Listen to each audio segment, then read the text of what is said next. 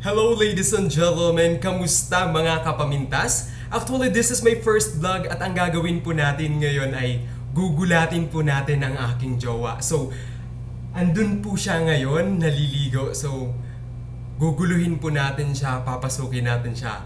Kaya, tara, let's go!